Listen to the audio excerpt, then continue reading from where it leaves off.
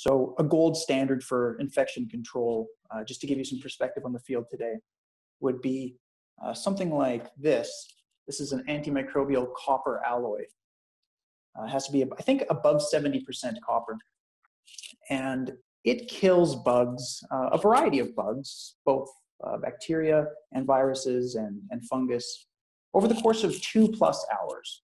So at two hours, you'll start to see some serious reduction. And for some reason, that's what the field settled on as a time point. But we wanted something a lot better than that because you can imagine where you're putting these antimicrobial surfaces.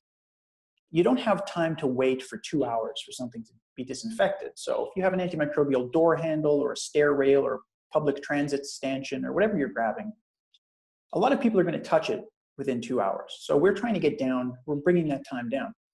And bringing the kill time down uh, is something that we were able to achieve with just regular salt, regular sodium chloride.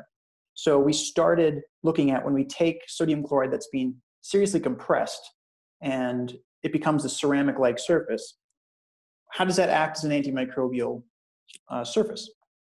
And we started with bacteria.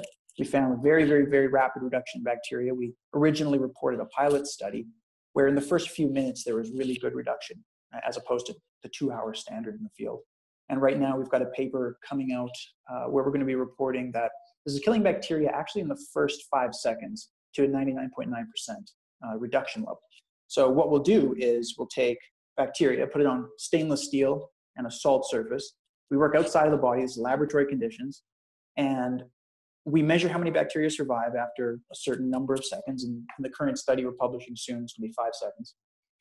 And however many are left on the stainless steel is our control, and whatever the reduction compared to that is, is our reduction level on, on salt, or as we call it, antimicrobial CSC, compressed sodium chloride. And so, yeah, we're finding very, very rapid reduction.